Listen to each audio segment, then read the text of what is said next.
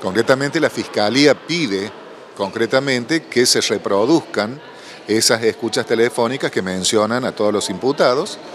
Eh, para ello hay que eh, hacer uso del soporte del material magnetofónico que hay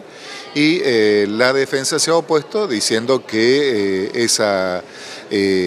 material mm, ya no tiene el resguardo de la cadena de custodia y por lo tanto ellos no están seguros si eso puede haber sido manipulado, a lo cual se le contestó de que existe copia de respaldo aún en la propia Agencia Federal de Inteligencia, por lo tanto el planteo oponiéndose debe ser rechazado. Así que quedamos ahora a espera de lo que resuelva el tribunal, lo cual se dará a conocer el día 9 de noviembre cuando se reinicien las actuaciones eh, pertinentes. Nosotros acá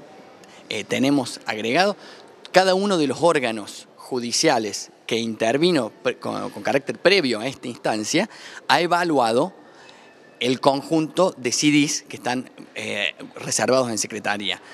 ¿Cómo llega, digamos, el trayecto desde que eso sale de la oficina de inteligencia hasta la, hasta las oficinas, los estrados judiciales, teniendo en cuenta que se trata de elementos digitales esencialmente modificables, es algo que es de suma importancia para el proceso.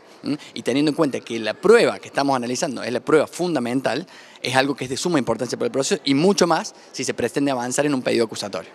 Conocemos eh, parcializadamente lo que en su momento la oficial inspectora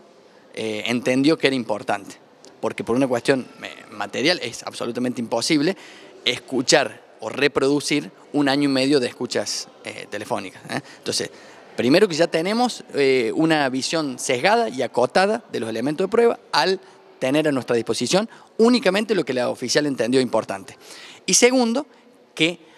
eh, para algo llevamos adelante, un, para algo tenemos códigos rituales, códigos de procedimiento, es decir, que hay ciertas reglas que tenemos que cumplir a los efectos de que un ciudadano común puede ser sometido a una pena de prisión, digamos, ciertas garantías que no únicamente resguardan a los imputados, sino que resguardan a todo ciudadano. Dentro de estas garantías está la de verificar que la prueba que ingresa al proceso ingrese legítimamente al proceso.